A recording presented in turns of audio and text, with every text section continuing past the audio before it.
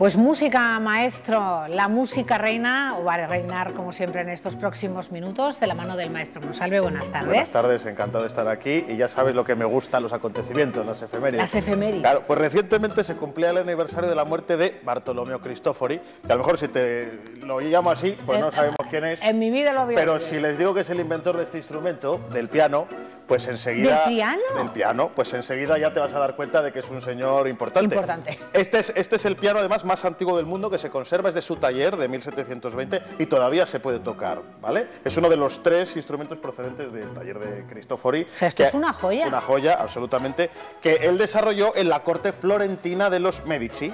Pues eh, Bartolomé o Cristofori cambió, en definitiva, con este instrumento rey, pues la historia de la música. Y lo hizo, ¿sabes cómo? Pues casi ¿Cómo? por casualidad, porque él realmente lo que estaba era de aprendiz de constructor. Como muchos inventos Claro. y descubrimientos. Él estaba de aprendiz de constructor de violines con un eh, artesano llamado Niccolò Amati, eh, que no era tan famoso como no es tan famoso hoy en día como Stradivarius, pero que en su época era pues muy muy famoso. muy top. Y allí conoció pues otro instrumento llamado Spinetone o en español Spinetta que robó eh, a Cristofori pues toda su atención y le dedicó muchos esfuerzos. Dijo, "Oye, este instrumento qué curioso, que si te das cuenta se parece a un piano, pero está como la cola está como de lado. O Pues sea, esto es el papá del piano. el- o el abuelo. O el abuelo. Sí, sí, ahora veremos. Estaba puesto así para que cupieran el foso de la orquesta, porque es, ya saben, para tocar una ópera o algo así, pues es muy angosto y eh, había que tener eh, espacio, ¿no? Su sonido es muy metálico porque lo que hacen las cuerdas, a diferencia de las del piano que se golpean, luego lo veremos, es pellizcar. Y a ver si les gusta cómo suena la espineta.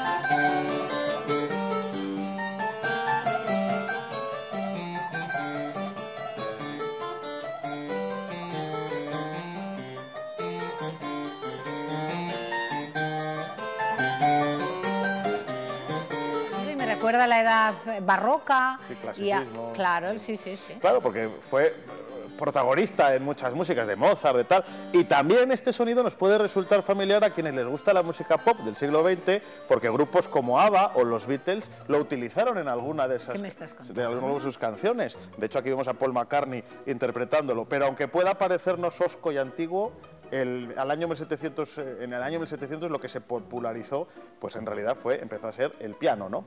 Pero hay que tener en cuenta de dónde viene. Decías, este es el abuelo, el padre del piano. Bueno, pues fíjate, el tatara, tatara, tatarabuelo, de lo que viene esta espineta, viene ni más ni menos que de alguien muy conocido, aunque poco estudiado, como Pitágoras. Digo poco estudiado, poco con sorna, ¿no? Porque cada vez se le deja más de lado en los currículums eh, eh, escolares. Él fue, además de un, el primer gran matemático, pues fue el inventor de la escala musical, como hoy la entendemos, y además el inventor de un instrumento llamado monocordio, en el que se basa, pues precisamente, la espineta, el piano y demás. Mira cómo sonaba.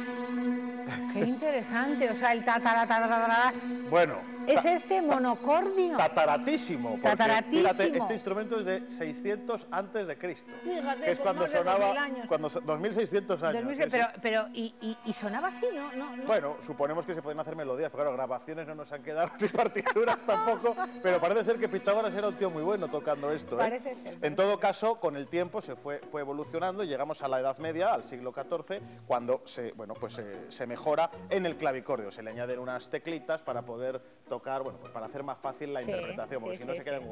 Sí, es verdad que era un un poco un poco, un poco rollo, ¿no? Pero eso sí, siempre se mantenía la idea de pellizcar, igual que tú pellizcas con el dedo, con la uña, las teclas, se hacía. Y claro, cuando tú querías que sonara más fuerte o más suave, lo único que puedes hacer era pellizcar varias veces a la vez. ¿Cómo lo hacías? Pues con varios teclados. Ahora lo vas a ver.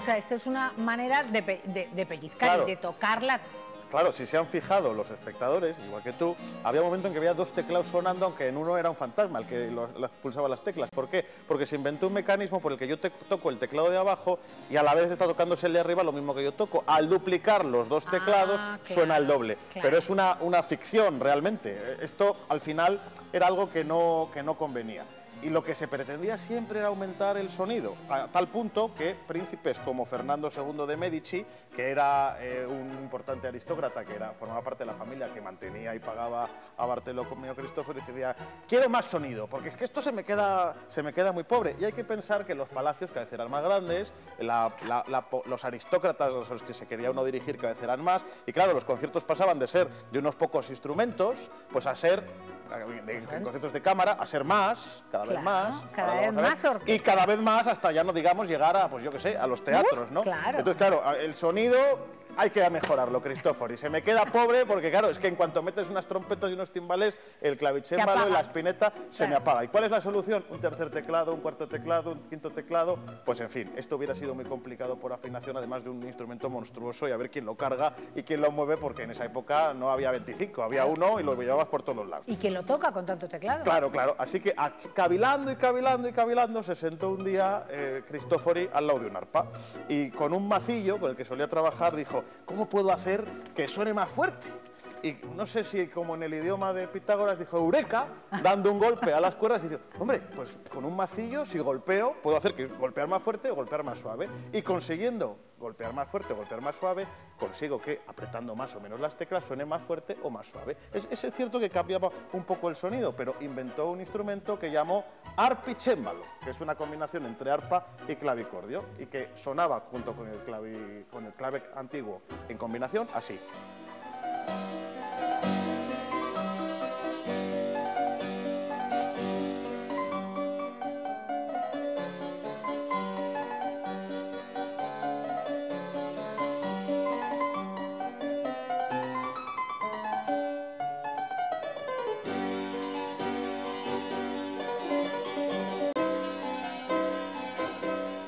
Así que estos conciertos donde en un lado, aquí vemos los dos teclados del clavicémbalo y en el otro lado el único teclado del arpichémbalo.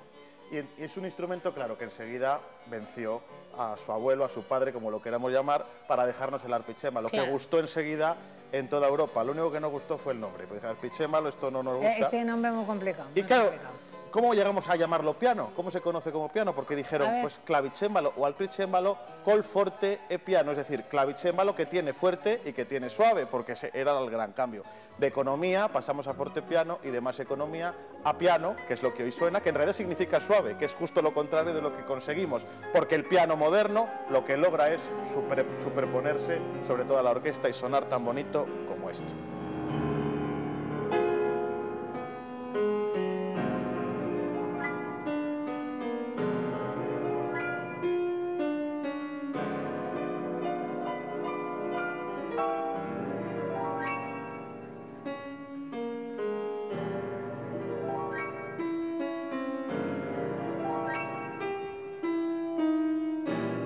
Una maravilla de sonido, pero, pero tendrías mucho que explicar desde esa anterior imagen a esta, ha, tenido que tener eh, su complejidad. ¿no? bueno, realmente es la misma evolución, acrecentando desde los macillos que golpean y que nos llevan hasta esto. Qué bonito, qué bonito es la historia y conocerla mucho más de tu mano. Ernesto Monsalve, muchas gracias. Muchas gracias. En música, maestro.